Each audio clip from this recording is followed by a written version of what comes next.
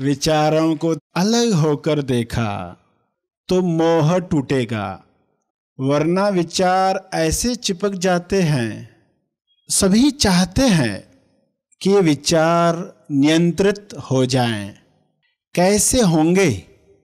जब हम विचारों को सही ढंग से देखना सीख जाएँगे। अब कोई इंसान यदि आईने के सामने गया हो और एक दो सफ़ेद बाल दिखे तो विचार आएगा, मैं बूढ़ा हो रहा हूँ।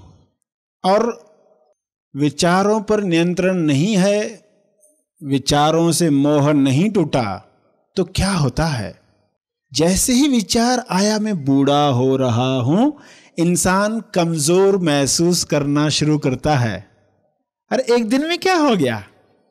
कल तो मज़बूत थे सिर्फ़ बाल देखे नहीं कि विचार आ गया, कमज़ोरी आ गई।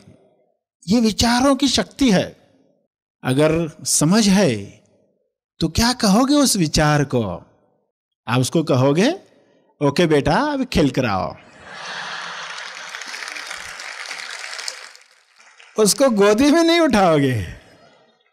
जाकर खेल कर आओ तो देखोगे उस विचार का जो असर आप पर होने जा रहा था, वो खत्म हुआ।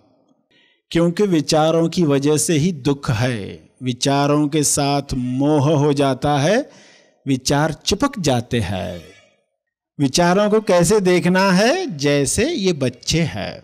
विचारों के साथ मोह टूटे। इस विषय पर और विस्तार से मार्गदर्शन पाने के लिए डिस्क्रिप्शन में दी गई लिंक पर क्लिक करें।